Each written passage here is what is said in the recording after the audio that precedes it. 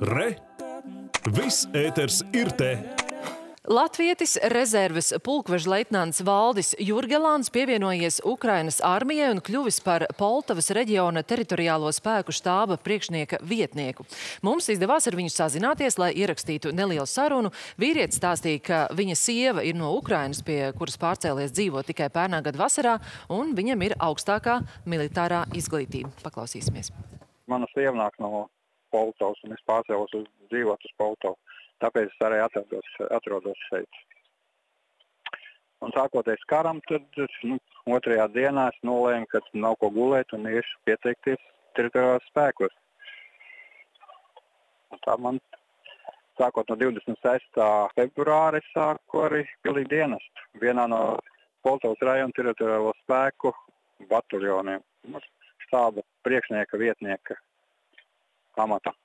Praktiski visi nodarbojas ar plānošanu, kaujas plānošanu un tādām lietām. Teritorijā notiek diversanti, izlūki jau ir iesaistījušies, iesaistījušies kaujas darbībā. Kaut gan tas ir vēl kādi vairāk nekā 100 km no mūsu teritorijas, nu, no mūsu pilsētas, bet jau ir jau notikušas cīņas. Ir, jā. Vai jums ir spēks un apņēmība cīnīties tālāk? protams, un ļoti liela. Un varētu teikt, ka uh, vadoties uh, vispārībā, ja runājam par Poltavas rajonu, tad viņi ir kā pauguraini.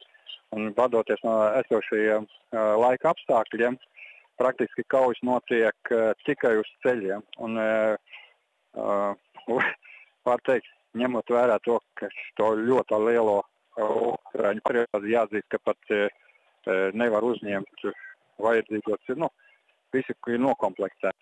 Cilvēki gaida, kad viņi varēs pieteikties. Civili iedzīvotāji e, noskaņoti pret un pat arī ar plikām rokām par tām pašām kaut kādām plikām degpudelēm. E, spēja iznīcināt pat tankus. Tur nekādas domas nav, ka, ka kāds varētu iedomāties, ka atstāt pozīcijas un tā tālāk. Ja sliktākā gadījumā būs pārspēks vienalga,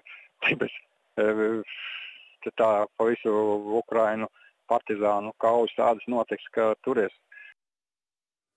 Tas bija Valdis Jurgelāns, latvietis, kurš šobrīd aizsargā Ukrainu no Krievijas karaspēka.